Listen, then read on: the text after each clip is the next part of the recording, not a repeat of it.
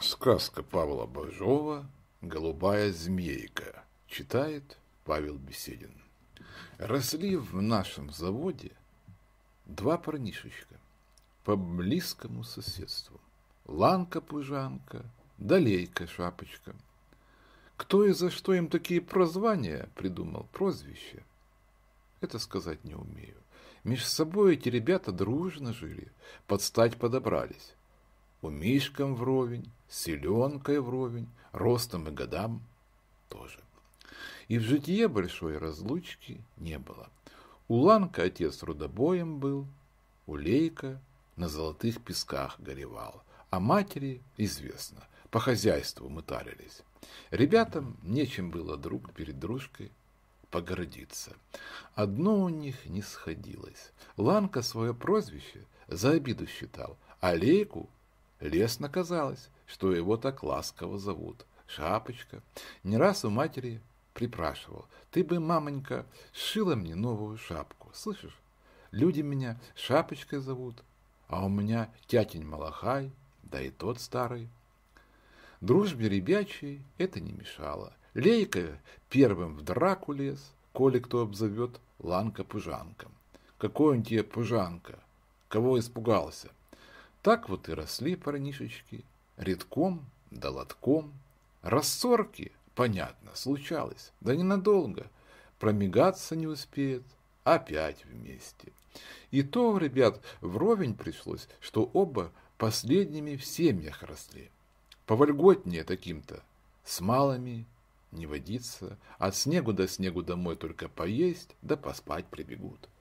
Мало ли в ту пору у ребят всякого дела.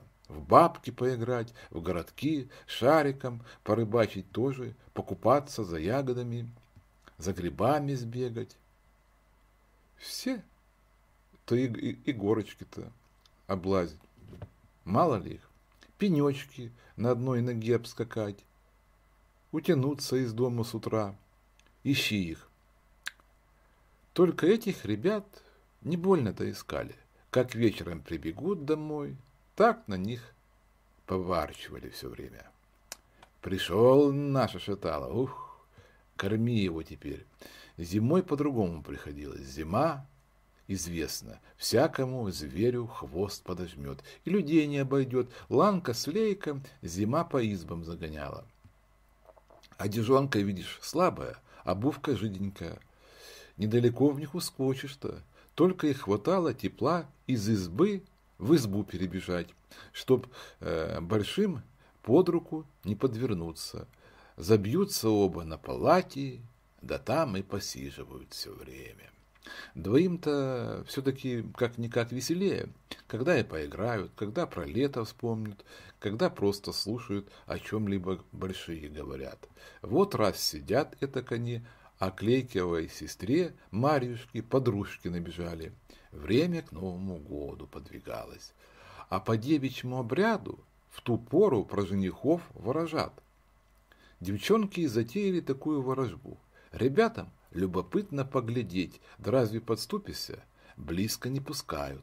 А Марьюшка по-свойски еще под затыльников надавала. Уходи вон там, туда, на свое место. Она, видишь, это Марьюшка, из сердитеньких была, который год в невестах, а женихов не было, да не было. Девушка э, будто и вовсе хорошая, да мальненько косоротенька. Изъян вроде невелик, а парни все же браковали ее из-за этого. Ну, она и сердилась. Забились ребята на палате, пыхтят, да помалкивают. А девчонкам весело. Залу сеют, муку по столешнице раскатывают, угли перекидывают, в воде брызгаются, перемазались все, с визгом хохочут одна на другой, только Марьюшке не весело. Она, видно, изверилась во всякой ворожбе, говорит, пустяк это, одна только забава. Одна подружка на это и скажи. По-доброму-то ворожить боязно. А как? Спрашивает Марюшка. Подружка и рассказала. От бабушки слыхала, самое правильное гадание будет такое. Надо вечером, как все уснут, свой гребешок на ниточке повесить на поветях, а на другой день, когда еще никто не пробудится, снять этот гребешок. Тут все и увидишь. Все любопытствуют. Как? А девчонка объясняет, коли в гребешке волос окажется, в тот год замуж выйдешь. Не окажется волоса, нет твоей судьбы. И про то догадываться можно, какой волос муж будет. Ланка с Лейком приметили этот разговор и то смекнули, ага, что Марьюшка непременно так ворожить станет. И оба в обиде на нее за подзатыльники-то. А? Ребята изговорились. Подожди, э, мы тебе припомним. Ага. Ланка в тот вечер домой ночевать не пошел. Улейка на палатях остался. Лежат, будто похрапывают. А сами друг дружку кулачонками-то в бока подтыкивают. Гляди, не усни. Как большие все уснули, ребята слышат. Марюшка в сенке вышла, ребята за ней, и углядели, как она на повете залезала и в котором месте там возилась. Углядели и поскорее в избу. За ними следом Марюшка прибежала, дрожит, зубами чакает. То ли ей холодно, то ли боязно. Потом легла, поежилась маненько и, слышно стало, уснула. Ребятам того и надо. Слезли с палатей, оделись, как пришлось, и потихоньку вышли из избы. Что делать? Об этом они уж сговорились. Улейка, видишь, мерин был. Не то чалый, не то бурый, звали его Голубка. Ребята и придумали этого мерина Марьюшкиным гребешком вычесать. На поветях-то ночью боязно. Только ребята один перед другим храбрятся. Нашли на поветях гребешок, начесали с голубка шерсти и гребешок на место повесили. После этого в избу пробрались и крепко-накрепко заснули. Пробудились поздненько. Из больших в избе одна Лейкова мать была, у печки топталась. Пока ребята спали, тут вот, вот что случилось. Марьюшка утром поднялась раньше всех и достала свой гребешок. Видит, волосу много. Обрадовалась, жених кудрявый будет, побежала к подружкам похвастаться. Те глядят, что-то не вовсе ладно. Девятся, какой волос-то чудный. Ни у одного знакомого парня такого не видывали. Потом одна разглядела в гребешке силочкой от конского хвоста подружки и давай хохотать над Марьюшкой. У тебя, говорят, женихом-то голубка оказался. Марьюшке это за большую обиду. Она разругалась с подружками, а те, знай, хохочут. Кличку ей объявили «Голубкова невеста». Прибежала Марьюшка домой, жалуется матери, вот какое горе приключилось. А ребята помнят вчерашние подзатыльники, с палатей подразнивают. Голубкова невеста, Голубкова невеста. Марюшка тут вовсе разревелась, а мать смекнула. Чиха-то рук дело, закричала на ребят. Что вы, бесстыдники, наделали? Без того у нас девку женихи обходят, а вы ее насмех поставили. Ребята поняли. Вовсе не ладно вышло. Давай перекоряться. Это ты придумал? Не ты. Марюшка из этих перекоров тоже поняла, что ребята ей такую штуку подстроили, кричит им. Что вам самим э, голубая змейка привиделась? Вот так вот я вам скажу. Чтоб и все. И привидится. Тут опять на Марьюшку мать напустилась. Замолчи, дура, разве можно такое говорить? На весь дом беду накличешь про э, змею-то говорить. Марюшка в ответ на это свое говорит. Мне что до того? Не глядела бы на свет белый. Хлопнула дверью, выбежала в ограду и давай там снеговой лопатой голубка гонять, будто он в чем виноват.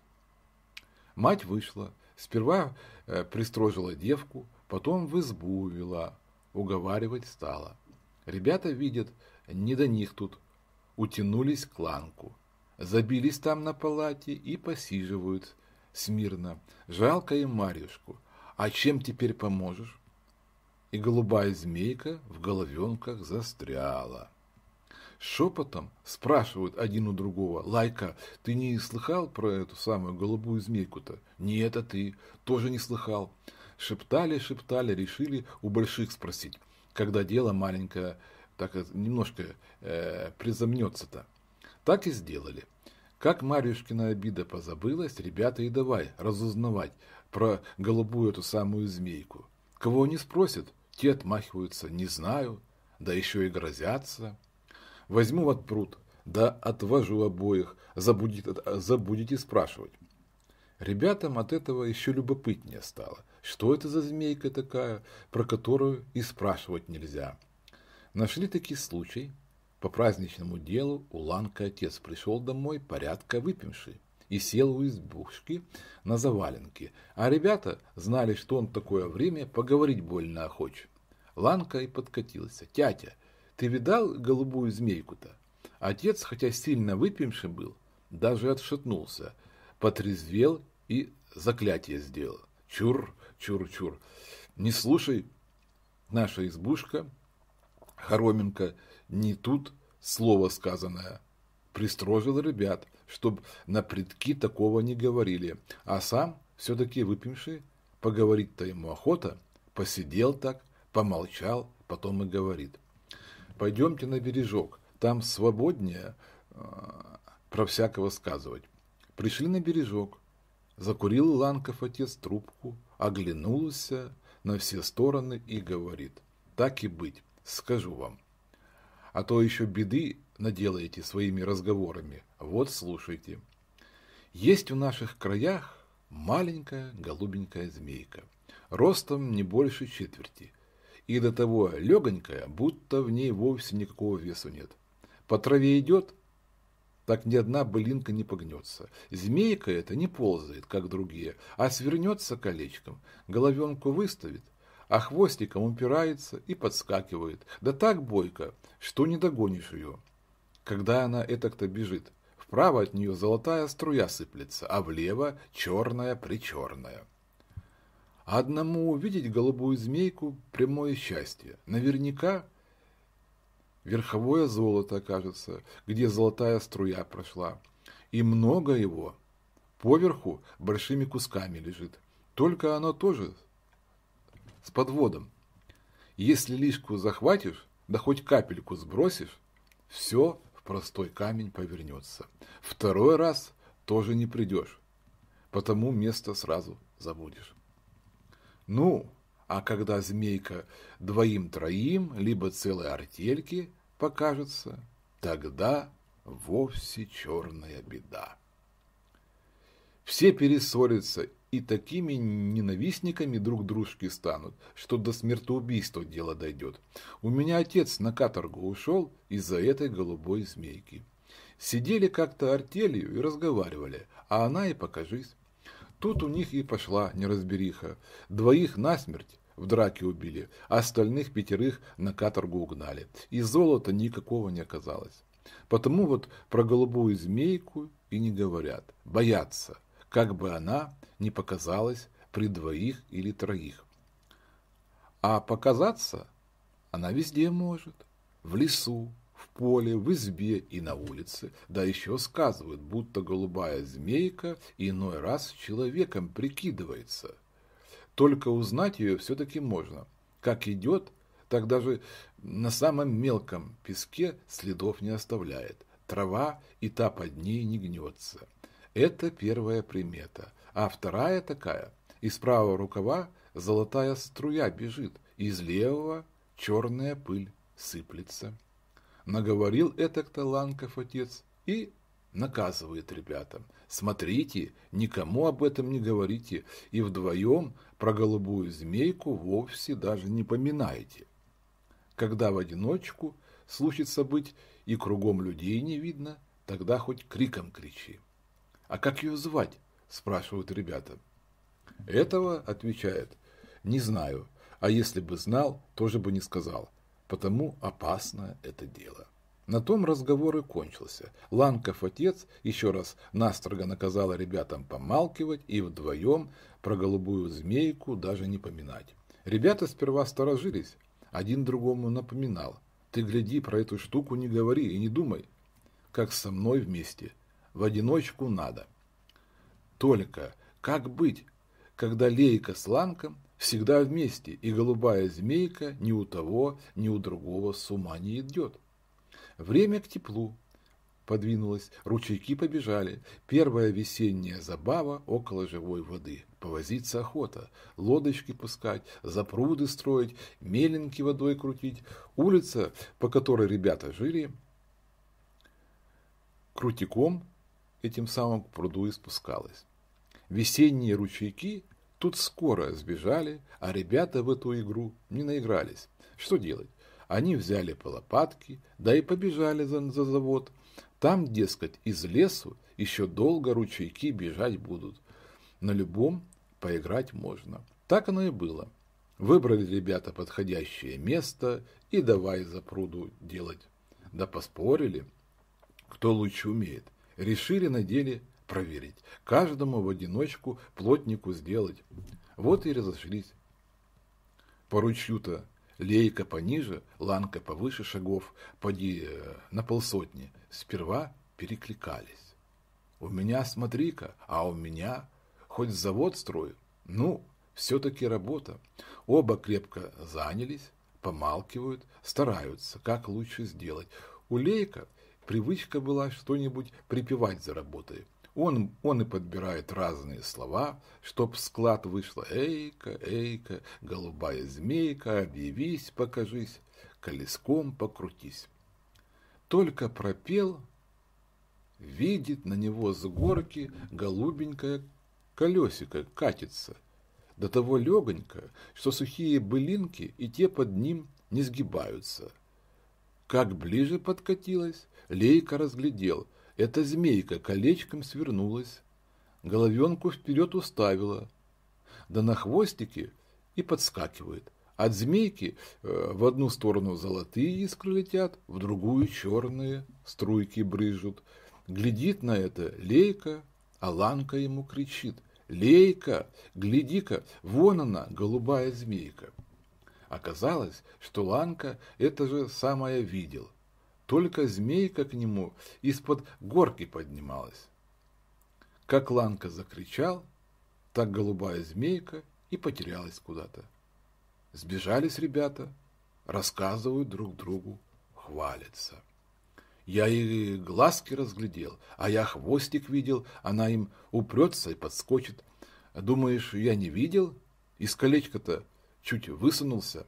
Лейка, как он все-таки э, поживее был, подбежал к своему прудику за лопаткой. «Сейчас!» — кричит. «Золото добудем!» Прибежал с лопаткой и только хотел ковырнуть землю с той стороны, где золотая струя прошла, Ланка на него налетел. «Что ты делаешь? Загубишь себя! Тут поди-ка черная беда рассыпана везде!» Подбежал к лейку и давай его отталкивать. Тот свое кричит, упирается. Ну, и разодрались ребята. Ланку с горки с подручня он и оттолкал Лейка подальше, а сам кричит. Не допущу в том месте рыться. Себя загубишь, надо с другой стороны. Тут опять Лейка набросился. Никогда этого не будет. Загинешь там. Сам видел, как в ту сторону черная пыль сыпалась. Так вот и дрались, так и дрались. Один другого остерегает, а сами тумаки дают до реву дрались. Потом разбираться стали, да и поняли, в чем штука. Видели змейку с разных сторон. Потому правая слева и не сходится. Подивились ребята. Как она нам голову-то закружила, обоим навстречу показалась. Насмеялись, она над нами насмеялась, и мы над собой, до драки довела, а к месту и не подступишься. В другой раз не прогневайся, не позовем.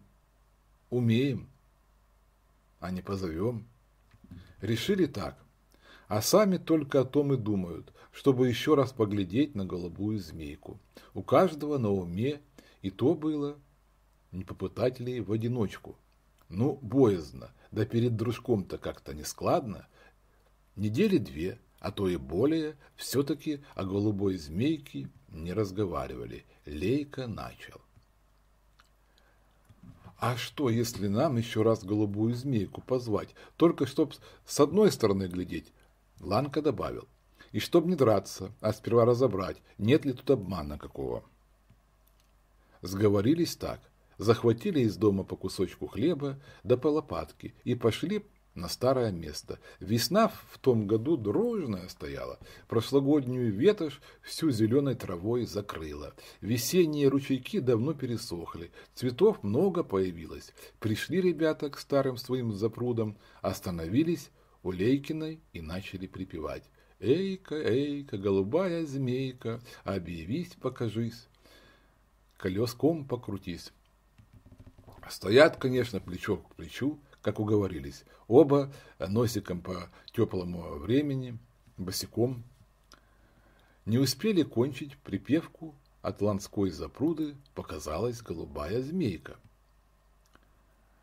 По молодой-то травке скоренько поскакивает, Направо от нее густое облачко золотой искрой, налево такое же густое черной пыли. Катит змейка прямо на ребят. Они уже разбегаться хотели, да смекнул ухватил ланка за пояс, поставил перед собой и шепчет. Негоже ни черной стороне оставаться. Змейка все же их перехитрила. Меж ног у ребят прокатилась.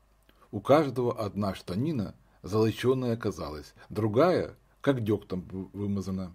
Ребята этого не заметили, смотрят, что дальше будет. Голубая змейка докатила до большого пня и тут куда-то подевалась. Подбежали, видят, пень с одной стороны золотой стал, а с другой черный, причерный, и тоже твердый, как камень. Около пня дорожка из камней.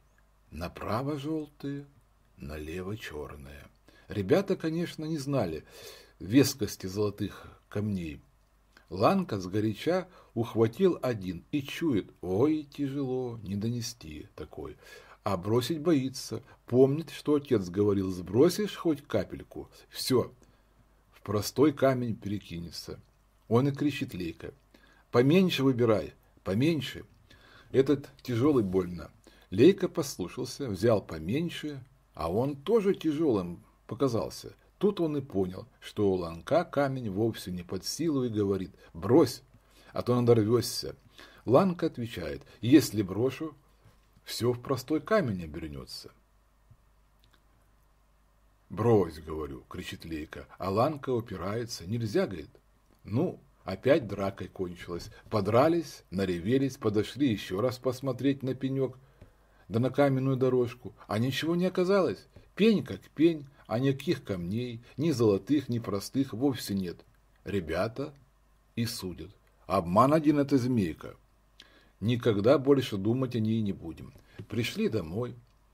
Там им за штаны попало, матери отмутузили того и другого, а сами девятся. Как-то им пособит и вымазаться на один лад. Кто это-то в самом деле? Не могли догадаться. Одна штанина в глине, другая в дегте. Ухитриться тоже надо такое сделать. Ребята после этого вовсе на голубую змейку рассердились, даже сильно осерчали. Не будем больше о ней говорить. И слово свое твердо держали. Ни раз с той поры у них и разговора о голубей змейке не было. Забыли они про эту змейку голубую, даже в то место, где ее видели, ходить перестали. Раз ребята ходили за ягодами, набрали по полной корзиночке, вышли на покосное место и сели тут отдыхать. Сидят в густой траве, разговаривают. У кого больше набрано, да у кого ягода крупнее. Ни тот, ни другой о, голубей, о голубой змейке и не подумал. Только видят, прямо к ним через покосную лужайку идет женщина. Ребята сперва этого в примету не взяли. Мало ли женщин в лесу в эту пору ходит кто за ягодами, кто за покосными делами. Одно показалось им непривычным. Идет, как плывет, совсем легко. поближе подходить стало, ребята разглядели. Ни один цветок, ни одна травинка под ней не согнутся. И то углядели, что с правой стороны от нее золотое облачко колышется, а с левой черное. Ребята и уговорились. Отвернемся, не будем смотреть, а то опять до драки доведет. Так и сделали. Повернулись спинами к женщине, сидят и глаза зажмурили. Вдруг их подняло. Открыли глаза, видят, сидят на том же месте, только примятая трава поднялась, а кругом два широких обруча, один золотой, другой чернокаменный. Видно, женщина обошла их кругом, да из рукавов и насыпала. Ребята кинулись бежать. Да золотой обруч не пускает. Как перешагивать? Надо, он поднимется. И поднырнуть тоже не дает. Женщина смеется. Из моих кругов никто не выйдет, если сама не уберу. Тут Лейка с Ланком звал, молились к ней. Тетенька, мы тебя не, знали, не, не, не звали. А я, отвечает, сама пришла поглядеть на охотников, добыть золото без работы. Ребята просят, отпусти, тетенька, мы больше не будем, и без того два раза подрались из-за тебя. Не всякое, говорит драка человеку в покор.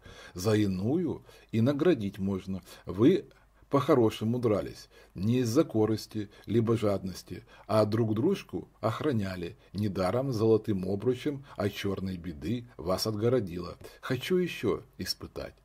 Насыпала из правого рукава золотого песку, из левого черной пыли, смешала на ладони, и стала у нее плитка черно-золотого камня. Женщина эту плитку прочертила ногтем, и она распалась на две ровненькие половинки. Женщина подала половинки ребятам и говорит. Коли, который хорошее, другому задумает, у того плиточка золотой станет. Коли пустяк, выйдет бросовый камешек. У ребят давно на совести лежало, что они Марьюшку сильно обидели. Она хоть с той поры ничего им не говорила, а ребята видели. Стала она вовсе не веселая. Теперь ребята про это и вспомнили. И каждый пожелал, хоть бы поскорее прозвище Голубкова невеста забылось, и вышла бы Марьюшка замуж. Пожелали так, и плиточки у обоих стали золотые. Женщина улыбнулась. Хорошо подумали. Вот вам за это награда. И подает им по маленькому кожаному кошельку с ременной завязкой. Тут, говорит, золотой песок. Если большие станут спрашивать вас, где взяли, скажите прямо. Голубая змейка дала. Да больше ходить за этим не велела. Не посмеют дальше разузнать.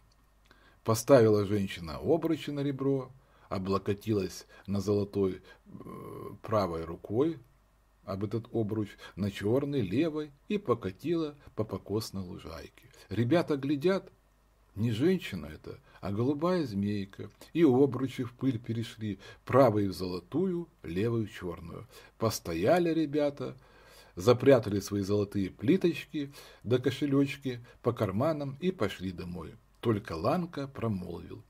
Не жирно все-таки отвалило нам золотого песку. Лейка на это и говорит. Столько, видно, заслужили. Дорогой Лейка чует, сильно потяжелело у него в кармане. Еле вытащил свой кошелек. До того он вырос. Спрашивает у Ланка, у тебя тоже кошелек вырос? не отвечает, такой же, какой был. Лейку неловко показалось перед дружком, что песку у них не поровну. Он и говорит, давай отсыплю тебе. Ну что ж, отвечает, отсыпь, если не жалко. Сели ребята близ дороги, развязали свои кошелечки, хотели выровнять, да не вышло. Возьмет Лейка из своего кошелечка горсточку золотого песка, а он в черную пыль перекинется. Ланг тогда и говорит, может, все-таки обман опять, как и раньше было. Взял щепотку из своего кошелька, Песок, как песок, настоящий золотой. Высыпал щепотку лейку в кошелек. Перемены не вышло. Тогда Ланка все и понял. Обделила его голубая змейка за то, что пожадничал на даровщину. Сказал об этом Лейку, и кошелек на глазах стал прибывать. Домой пришли оба с полнехонькими кошельками. Отдали свой кошелек, песок семейным и рассказали, как голубая змейка велела. Все понятно, радуется, а у Лейка в доме еще новость. К Марьюшке приехали сваты из другого села. Марьюшка веселохонькая, бегает, и рот у нее в полной исправе. От радости, то ли или от чего. Жених, верно, какой-то чубарой волосом, а парень веселый, к ребятам ласковый. Скоренько с ним сдружились. Голубую змейку с той поры ребята никогда не вызывали. Поняли, что она сама наградой прикатит, если заслужишь. И оба удачливы в своих делах были. Видно, помнила их змейка, и черный свой обруч от них золотом отделяла все время.